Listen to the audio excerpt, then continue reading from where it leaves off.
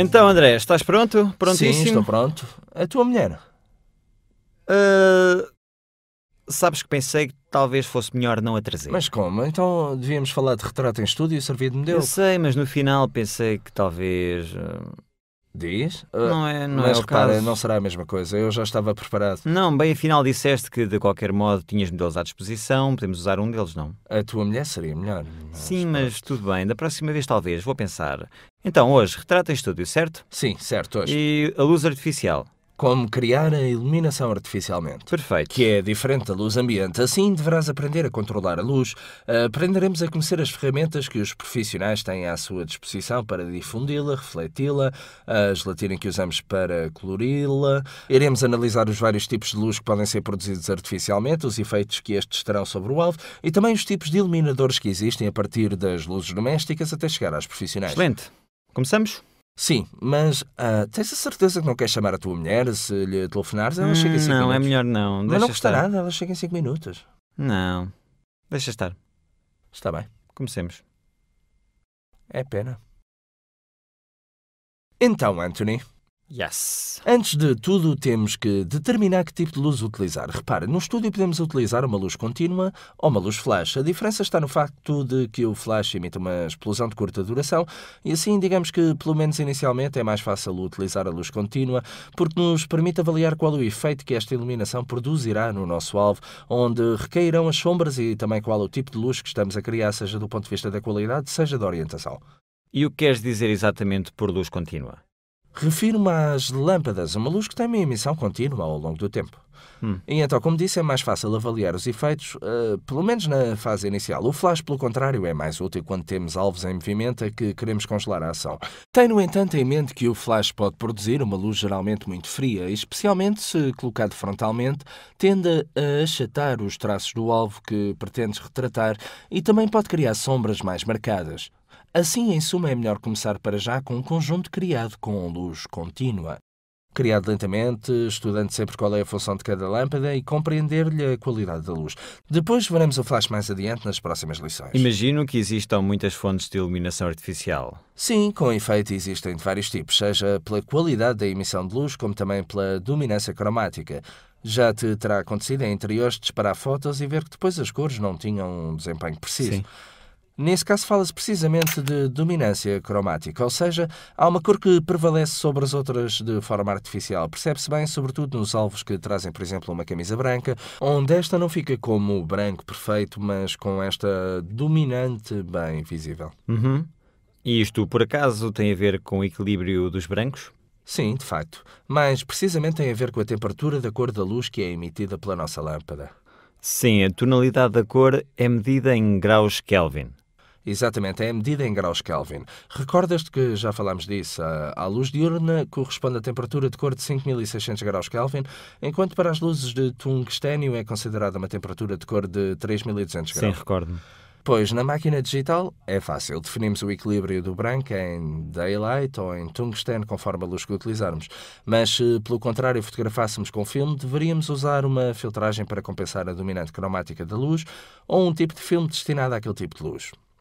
Em geral, porém, Anthony considera que funciona ao contrário, ou seja, para uma luz que geralmente definimos como quente, a temperatura da cor em graus Kelvin é mais baixa, enquanto que as luzes que definimos como mais frias têm uma temperatura de cor mais alta. Recordo-me de teres falado sobre o metal que, quando se aquece, fica vermelho, depois aclara até chegar ao azul. Sim, de facto é mesmo isso. Considera, no entanto, que utilizando luzes domésticas, temos uma temperatura de cor que é geralmente mais baixa do que os 3200 graus Kelvin que teriam as lâmpadas de tungstênio profissionais e, por isso, temos uma dominante ligeiramente mais quente, mais tendente ao branco. Ah, exato. Por isso, em digital é aconselhável definir o equilíbrio do branco em manual, sem se confiar na simples definição tungsteno. Ou, trabalhando com filme, devemos utilizar uma filtragem adequada para converter a temperatura de cor da luz. E, e se tiver em casa alguma lâmpada de neon? Bem, repara com as luzes de neon o problema é diferente, pois essas lâmpadas têm uma emissão que, do ponto de vista do cromático, é muito descontínua e não conseguem reproduzir corretamente determinadas gamas cromáticas. Como, por exemplo, têm dificuldade em reproduzir os vermelhos, em que normalmente se gera uma dominante que é bastante azulada. Então, será por isso que nas máquinas fotográficas digitais existe a função fluorescent? Sim, de facto, a definição do equilíbrio do branco no fluorescente serve justamente para definir uma correção sobre a reprodução das cores quando se utiliza este tipo de luzes. Hum, entendi. Mas considera que, se fotografarmos com filme, é desaconselhável utilizar luzes neon de tipo doméstico porque são difíceis de controlar. Como te dizia, mesmo uh, utilizar uma filtragem, enquanto, pelo contrário, em preto e branco não há problema. No entanto, existem vários tipos de luzes neon profissionais do estúdio que proporcionam uma temperatura de cor muito próxima ao daylight e assim possibilitam uma reprodução correta das cores. Hum, interessante. Podes falar-me um pouco disso? Sim, claro, falaremos agora. Ok. Então, Anthony, aqui podes ver alguns exemplos de lâmpadas de estúdio. Explica-me um pouco as características, como funciona. De acordo. Antes de tudo, possuem a característica principal de ter uma emissão em intensidade muito elevada. E depois também têm uma calibragem no que diz respeito à temperatura de cor muito precisa. Considera que existem lâmpadas de uso profissional que emitem uma luz idêntica à diurna, as chamadas daylight. Lâmpadas deste tipo Uh, esta é uma lâmpada fluorescente do tipo profissional, como aquelas que falámos antes, ou também como aquela ali ao lado, que é muito semelhante às lâmpadas de descarga ou HMI, muito usadas no cinema. Ou há a possibilidade de, através de gelatinas, de controlar a emissão de luz, corrigindo a temperatura da cor para aproximar da luz diurna. E o que são as gelatinas? As gelatinas são folhas em policarbonato, um material transparente e não inflamável, e servem para, colocando-as em frente às lâmpadas, mudar a cor da luz uh, emitida. Hum. Podem ser úteis para converter a temperatura da cor de uma luz de tungstênio em daylight ou vice-versa, ou para variar ligeiramente a temperatura da cor. Depois existem outros tipos que servem para colorir a luz ou efeitos especiais.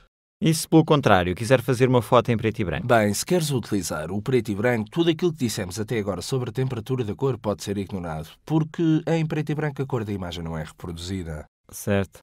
Mas permanecem válidas todas as indicações sobre o tipo de luz e especialmente sobre o contraste e o tipo de sombras que as luzes geram de um ponto de vista qualitativo. Uhum. Bem, visto que te interessa, Anthony, examinemos os efeitos das luzes no retrato para compreender melhor como funcionam os diferentes tipos de luz. Usemos como exemplo uma modelo colocada de frente contra um fundo neutro, colocado a cerca de 2 uhum. metros de si. As luzes do compartimento estão totalmente apagadas e acendemos uma luz de cada vez para vermos que efeito produz sobre o alvo. Excelente. Hum? Então, existem diversos tipos de lâmpadas. Existem as lâmpadas photoflood, que se assemelham às lâmpadas domésticas, mas com a diferença de que possuem uma emissão muito mais potente, variando de 250 a 500 watts, e têm um bulbo acetinado para emitir uma luz mais suave. Depois existem as lâmpadas deste tipo, as chamadas quartz line. Estas têm a lâmpada que está colocada no interior de uma parábola e não tocar. Uh, só queria ver. E com o anel que está colocado atrás da lâmpada, podemos regular a posição desta no interior da parábola, mudando Posso? a emissão. Sim, agora podes. Mudando a amplitude da emissão do fluxo luminoso de spot para white hum. flood. Uh, o que significa um spot e white flood? Bem, devo explicar-te precisamente este conceito. Spot significa que há uma emissão do feixe luminoso muito concentrada e assim uh, serão produzidas sombras mais fortes sobre o teu alvo. Ao contrário, em White Flood, a emissão do feixe luminoso é muito mais ampla e produzirá assim sombras mais suaves, mesmo que substancialmente este tipo de luz seja considerado sempre uma luz forte. Já te falei destes conceitos, luz forte ou suave. Lembras-te quando falámos de luz natural? Sim, lembro-me. Para a luz-chave pode usar-se uma luz direta mais Sim, forte. Sim, realmente certo? para a luz-chave podemos utilizar uma lâmpada deste tipo. Hum. A luz-chave é a luz que proporciona a tridimensionalidade à nossa imagem. Geralmente colocamos-la com um ângulo de cerca de 30 graus em relação à cabeça do nosso alvo. Hum. Então podemos variar ligeiramente a posição, ou de cima, ou de baixo, ou mais lateral, para ver que efeitos são produzidos, mas sempre tendo em consideração as sombras é preciso fazer de forma que não se produzam sombras demasiado inconvenientes. Por exemplo, a sombra do nariz nunca deve tocar os lábios. Aqui, repara, variando a posição da luz-chave, podem obter-se diferentes efeitos sobre a nossa imagem. Uh, realmente as, as, sombras parecem muito escuras. Sim, porque de momento estamos a utilizar apenas a luz-chave. Com efeito, agora devemos colocar no lado oposto em relação a este, sempre angulado em relação ao rosto da modelo, uma luz de preenchimento. Para fazer isso, deveremos utilizar uma luz suave que irá preencher as áreas de sombra e atenuar precisamente estas sombras uh, muito escuras. Uh, e quais são as luzes artificiais que produzem uma luz mais, mais suave? Bem, por exemplo, as luzes fluorescentes de tipo profissional, precisamente aquelas de que falávamos antes, encontram-se com uma série de tubos fluorescentes colocados dentro de um painel retangular que produzem uma luz de tipo muito suave. E existem equipamentos para irradiar a luz de modo mais difuso. Sim, existem também equipamentos como os softbox ou os banks. São uma espécie de caixa em material translúcido que servem para tornar a luz emitida pela lâmpada muito mais suave sobre o alvo. Ou podem ser utilizadas também outras ferramentas, como podem ser os guarda-chuvas fotográficos que podem refletir ou transmitir a luz de forma muito mais difusa. Ou poderia usar ainda os painéis refletores ou poliestireno? Sim, aqueles que... no exterior. Sim, perfeito. Aqueles que se usam no exterior também podem ser usados no estúdio. Recorde porém, que a luz refletida é sempre muito mais suave do que a luz incidente. Assim, qualquer superfície que utilizes para refletir a luz tenderá também a suavizar esta luz. Repara, no nosso retrato, a luz suave tende a clarear as sombras produzidas pela luz-chave. Deste modo, controlam a taxa de contraste entre as áreas em luz e as em sombra. Em que sentido? O que significa taxa de contraste? A taxa de contraste é a relação que existe entre a iluminação produzida pela luz-chave e a produzida, por sua vez, nas áreas onde utiliza luz de preenchimento. Por exemplo, se tenho uma taxa de contraste de 1 para 1, significa que a luz-chave e a luz de preenchimento têm a mesma intensidade, mas, pelo contrário, tiver uma taxa de contraste de 1 para 2 ou de 1 para 4, significa que a luz de preenchimento é de 1 ou 2 top inferior como intensidade em relação à luz-chave. E assim posso utilizar taxas de contraste diferentes para sugerirem uma ideia diferente do meu retrato. Se quero torná-lo mais dramático, certamente terei de aumentar a taxa de contraste. Entendi. Neste caso usaria um contraste de 1 para 4, mas se quisesse fazer uma, uma foto com mais dramática, poderia usar um contraste mais alto, certo? Sim, sem dúvida. O conceito é mesmo este. Não há uma regra válida para todas as ocasiões.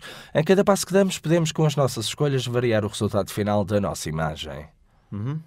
Então, como dizias, para um desempenho mais dramático, podemos aumentar a diferença entre a luz-chave e a luz de preenchimento para tornar as sombras mais marcadas. É claro, precisamos de conhecer antes de tudo as regras básicas para poder caminhar pelos próprios pés e experimentar. Recorda-te nas lições anteriores, por exemplo, vimos os retratos de Osuv Karsh jogados precisamente numa taxa de contraste forte. Uhum. Ou mesmo as pinturas de Caravaggio, também estas utilizando uma luz-chave que produzia sombras muito marcadas. Uhum. Sim, mas para fazer o nosso retrato falta ainda qualquer coisa, certo? Certo, agora vamos ver o que ainda falta ao nosso retrato. Está bem. Portanto, para completar o nosso retrato, na verdade, para ter um retrato iluminado como deve ser, Falta ainda a contraluz. Hum. Recorda-te, já tínhamos abordado quando falávamos da iluminação natural e agora, com as lâmpadas de estúdio, temos a possibilidade de ver o quão realmente é eficaz. É uma luz que vamos colocar atrás do nosso alvo, voltada para a máquina fotográfica e que serve para iluminar e delinear os contornos do nosso alvo. Sim, mas se colocares a luz nos ombros do alvo, não arriscas a tê-la dentro da, da objetiva? Sim, com efeito, esse é o maior risco que corres com a contraluz. Temos que colocar a nossa luz de forma que fique coberta pelo alvo ou fora do campo visual da nossa objetiva. Hum. No entanto, é aconselhável utilizar para este fim uma luz que permita concentrar o feixe luminoso para evitar que este se difunda demasiado e que vá precisamente atingir a lente da nossa máquina fotográfica. Hum. Por este motivo, utilizam-se de preferência lâmpadas em que tenhamos a possibilidade de regular o feixe em modo spot. Agora já sabes do que estou a falar, certo? Sim, deveria utilizar uma luz de quartzo em modo spot. Sim, seguramente pode ser já uma boa ideia. Mas existem lâmpadas como esta que têm na frente da fonte luminosa precisamente uma lente de Fresnel. Esta lente permite concentrar de forma mais eficaz o raio luminoso e assim ter um efeito spot mais pronunciado. Possuem, entre outras coisas, palas colocadas frontalmente que servem para modelar de forma mais eficaz o feixe luminoso e assim evitar o risco de entrada de luz na objetiva da máquina fotográfica. De qualquer modo, para esta utilização existem lâmpadas mais específicas, as chamadas spot, que são lâmpadas de voltagem reduzida em relação às normais de quartzo, que oferecem também a possibilidade de regulação da posição da lâmpada e uma lente Fresnel para concentrar ao máximo o feixe luminoso e focalizá-lo num ponto bem preciso. Também estas estão munidas de palas que permitem moldar melhor a luz. Repara, neste ponto, o nosso retrato assume completamente uma outra tridimensionalidade. No entanto, para melhor completar o esquema de iluminação, temos também que nos ocupar do fundo. Um fundo branco uniformemente iluminado pode ser útil para destacar o nosso alvo. Mas uma pincelada de luz dada corretamente, com uma luz bem moldada, pode ajudar a destacar ainda mais o alvo do nosso fundo. Fantástico. Vês? O que te parece o nosso retrato? Ah, muito bonito. Parece quase como pintar, a desenhar com a luz. Sim, com efeito é mesmo isto que estamos a fazer. Estamos a Sim, fotografar. quero fazer mesmo isso. Então, viste exatamente quais são os equipamentos que podem ser usados num estúdio profissional para tirar o máximo de um retrato. Mas, no entanto, tenta sempre trabalhar adicionando uma luz de cada vez, como fizemos hoje, e lembra-te precisamente que, ao trabalhares com menos luz, obtens os mesmos bons resultados, evitando talvez os problemas que possam surgir com as sombras cruzadas que normalmente se tornam difíceis de controlar. Depois começa com poucos elementos e vai adicionando, conforme fores tendo prática, outros elementos à tua iluminação. Brilhante. De facto, outra lição espetacular, sinceramente. Bem, falámos hoje da diferença entre luz contínua e luz flash.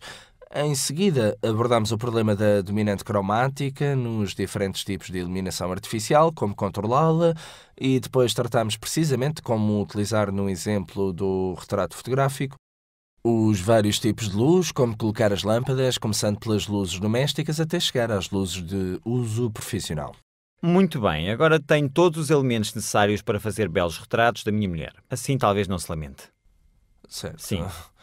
Belos Mas- retratos à minha mulher. Certo, mas podias trazê-la. Ofereço-vos dois retratos. O que achas? Hum, talvez amanhã, Um veremos. pouco egoísta, não? Por acaso não será cimento? Eu?